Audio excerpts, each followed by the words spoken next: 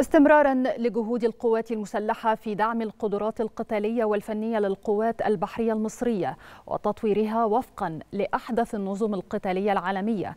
تسلمت القوات المسلحة الفرقات الأولى من طراز مايكو إي 200 إذانا بدخولها الخدمة بالقوات البحرية المصرية.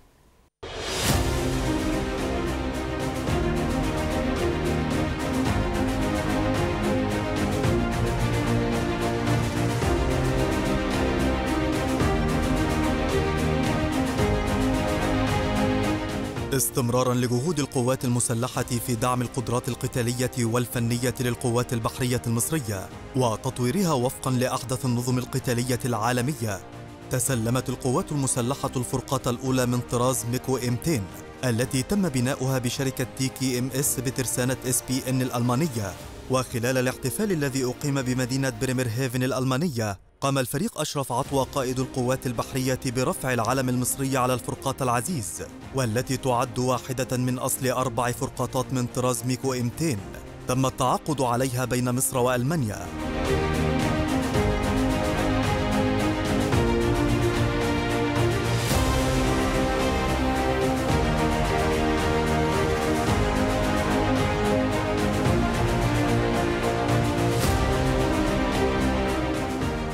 وتمتاز الفرقة متعددة المهام الجديدة بالقدرة على الإبحار لمسافة 6800 ميل بحري وتصل سرعتها القصوى إلى 28 عقدة ويبلغ طولها الكلي 121.6 متر.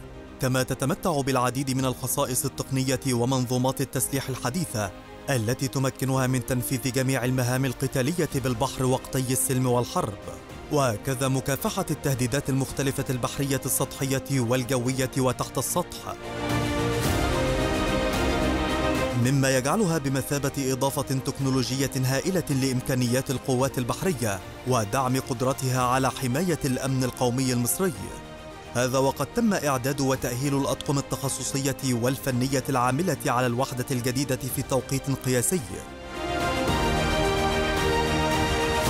وألقى الفريق أشرف عطوة قائد القوات البحرية كلمة نقل خلالها تحية السيد الرئيس عبد الفتاح السيسي رئيس الجمهورية القائد الأعلى للقوات المسلحة. والفريق أول محمد زكي القائد العام للقوات المسلحة وزير الدفاع والإنتاج الحربي للقوات البحرية الألمانية وشركة تيكي ام اس مؤكدا اعتزاز القيادة المصرية بعمق وقوة العلاقات المصرية الألمانية وتقارب وجهات النظر في العديد من القضايا والموضوعات موضحا أن الوحدة الجديدة تعد الأكثر تطورا في السلاح البحري المصري لتعزيز قدرته على تحقيق الأمن البحري وحماية الحدود والمصالح الاقتصادية في البحرين الأحمر والمتوسط.